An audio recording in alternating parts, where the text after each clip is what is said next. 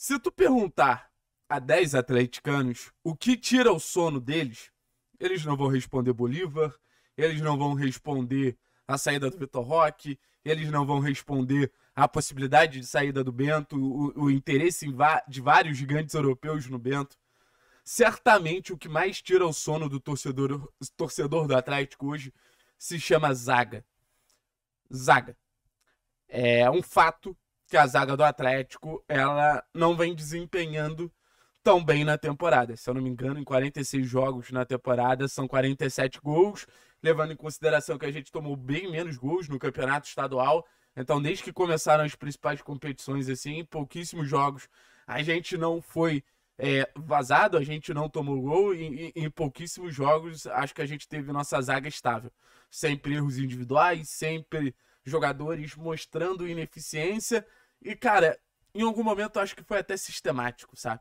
Em algum momento eu acho que a zaga era pouco protegida, o esquema de, de marcação individual era um pouco complicado para a zaga do Atlético, acho que isso provocava bastante o erro e tudo mais. Mas acho que chega um momento que, que transcende o comando técnico. Eu acho que chega um momento que transcende é, quem está no banco de reservas. É campo. O problema da zaga do Atlético ultimamente é campo. O que o Kaique Rocha faz no primeiro gol contra o, o Bolívar não tem treinador que possa prever isso na, na pré-eleição. É basicamente você chegar para o zagueiro e falar o seguinte: Ô oh, meu filho, você não pode furar uma cabeçada na frente do atacante e deixar ele lá fazer o gol. São erros que não tem como você corrigir, porque são erros muito óbvios. E o fato de serem erros muito óbvios me incomoda consideravelmente, porque eles não eram para estar tá sendo cometidos. Eles não eram para estar tá sendo feitos.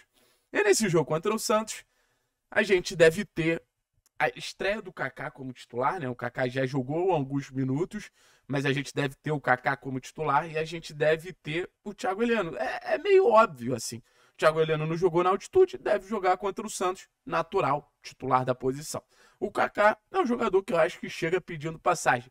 O Kaká, muita gente não está levando em consideração tanto assim a contratação do Kaká, mas foi um cara que a gente ganhou uma disputa de Botafogo, foi um cara que a gente ganhou uma disputa contra o Grêmio. Não foi um zagueiro simples de trazer. É um zagueiro que chega com certo hype, um zagueiro que tem qualidade e eu acho que pode ajudar muito o Atlético. E esse vídeo é para debater qual é a zaga ideal do Atlético, né? Em meio a tantas falhas, em meio a tantas dificuldades, qual é a zaga ideal que a gente possa é, escalar tanto quanto Santos quanto Bolívar e, e para a sequência da temporada, sabendo que, por exemplo, um dos nossos principais zagueiros, e não falando que ele é bom o suficiente ou não, não fazendo esse juízo de valor, mas um dos nossos principais zagueiros, o Pedro Henrique, que eu acho que seria titular hoje do Atlético se não tivesse se machucado e se não tivesse sido vendido, que a gente sabe que a venda ela estava realmente muito próxima, é, a tendência era que o Pedro Henrique ele fosse titular do Atlético. Então a gente tem essa dúvida. Eu já falei aqui para vocês que eu acho que a zaga do Atlético ela tá 66,66% ,66 escalada, tá? Eu acho que o Esquivel, assim, não chegou ninguém, zagueiro canhoto. Se tivesse chegado um zagueiro canhoto, eu até poderia ver o Esquivel jogando como ala, mas como não chegou ninguém por ali, acho que é, que é o Esquivel, não tem muita dúvida. E eu tô gostando do Esquivel, apesar das falhas, eu tô gostando do Esquivel. Acho que defende bem em profundidade. Acho que tem uma saída de bola legal. Acho que ganha bem duelo. Estou longe de achar o Esquivel o, o zagueiro ruim que falam. E, e, acho que ele é defensor. Muita gente quer ver ele com mais liberdade para atacar, mas cada vez mais eu tenho noção que o Esquivel é defensor. É, é, é importante ressaltar isso, é importante destacar isso, sabe? E óbvio que além do Esquivel, o cara é titular na zaga do Atlético se chama Thiago Heleno. Isso aí não tem mistério. Thiago, mesmo com muitos questionamentos, para mim, continua sendo o melhor zagueiro do Atlético. Se você não botar ele numa linha muito alta, se você não botar ele no, numa situação muito desconfortável para o jogo dele, para as limitações físicas que naturalmente surgem quando o zagueiro ele vai envelhecendo, eu acho que o Thiago Heleno ele ainda é um zagueiro de um nível muito legal. Falando nisso, sobra uma vaga. E a questão é que para essa vaga, o Atlético tem cinco zagueiros. O Atlético tem cinco zagueiros pelo lado direito e só o Esquivel pelo lado esquerdo. Acho que isso diz também algo sobre a montagem de elenco. Mas vamos lá. Matheus Felipe. O Kaique Rocha eu não vou botar, porque acho que o Kaique Rocha ele concorre com, ele concorre com o Thiago Heleno nessa zaga central. Mas o Aguilar é pela direita. o Kaká é pela direita, o Zé Ivaldo é pela direita. Então, assim, se você não quer considerar o Matheus Felipe, e se você bota o Kaique na, na faixa central, é uma disputa de três em relação à zaga ideal do Atlético. Kaká, Zé e o. Kaká, Zé e o.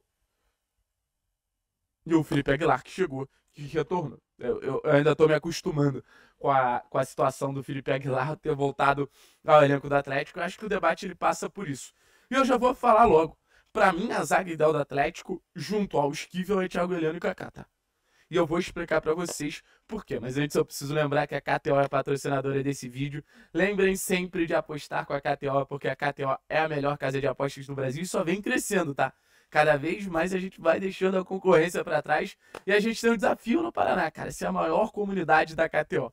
Então, apostem com código 3 pontos. Se cadastrem com código 3 pontos, vai ganhar 20% de bônus e você vai ter toda a liberdade do mundo para apostar.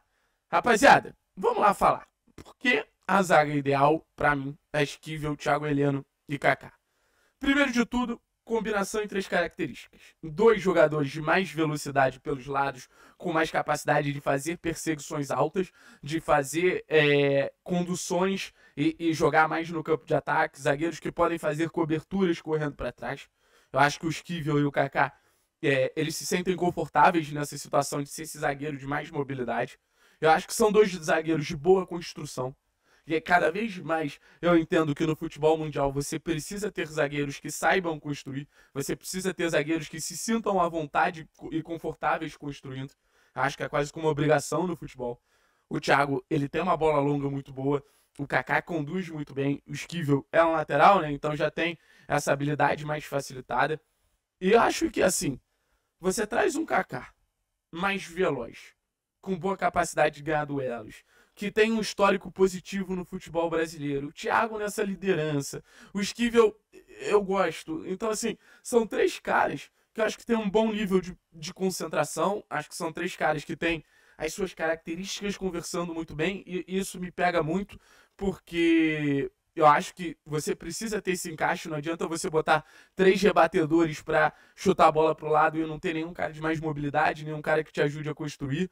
Eu acho que são três jogadores que podem ser eficientes no jogo aéreo. Talvez a gente precise um pouco de altura e, e, e o Aguilar possa bancar o Kaká nessa situação, mas eu acho que o Thiago é um cara bom no jogo aéreo, se ele tiver bem a cobertura, se o time tiver bem posicionado na bola aérea, acho que o Thiago é um bom rebatedor, o Kaká também tem alguns bons números em relação a essa questão das rebatidas, lembrando que na última Libertadores o Atlético teve o líder de rebatidas que foi o, o Pedro Henrique, Acho que o Kaká ele chega no, com, com esse certo hype, não é à toa.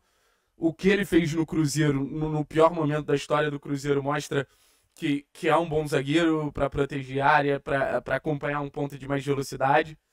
Então, assim, é, essa é a minha zaga ideal, velho. Essa é a minha zaga ideal. Entendo que o problema é maior do que nomes, entendo que o problema é maior do que um problema individual. Acho que é um problema, assim, quase que mental para a zaga do Atlético. Parece que os erros acontecem e, e, não machucam mais. Eu tenho essa impressão que os erros na zaga do Atlético acontecem e a gente não, não, não sente mais a dor do erro. Essa dor do erro fica só para a torcida. Parece que para a zaga do Atlético, ah, errou e, e tudo bem. Eu quero ver essa zaga um pouco mais inconformada. Eu quero ver essa zaga um pouco mais incomodada. O Thiago Heleno dando esporro, o, o Bento dando esporro. O Bento, cara, precisa assumir mais um pouco de, de, de liderança para orientar a defesa e tudo mais, algo que o Thiago ele acaba fazendo muito bem, mas ao ponto de, cara, a gente não vai tomar gol. Isso tem que passar a ser uma meta, isso tem que passar a ser um incômodo, olho no olho ali dos caras, para que isso não, não vire realmente um drama na temporada. E acho que são dois reforços, né?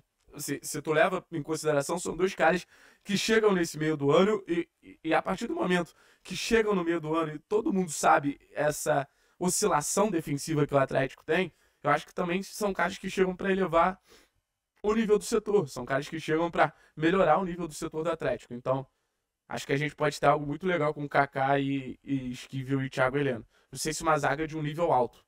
Eu vejo o Kaká muito parecido com o Murilo do Palmeiras, tá? Vejo o Kaká muito parecido com o Murilo do Palmeiras acho que Gustavo Gomes e Thiago Heleno têm algumas semelhanças, longe de serem do mesmo nível. Tô falando em questão de características. Então, assim, precisa ter uma boa proteção e tudo mais, mas acho que em questão de encaixe, um mais rápido, um mais lento, um mais experiente, um mais jovem, um mais é, rebatedor, outro de mais mobilidade, eu acho que, que hoje, em meio a um caos, seria minha zaga titular, sabe? Tamo junto, rapaziada.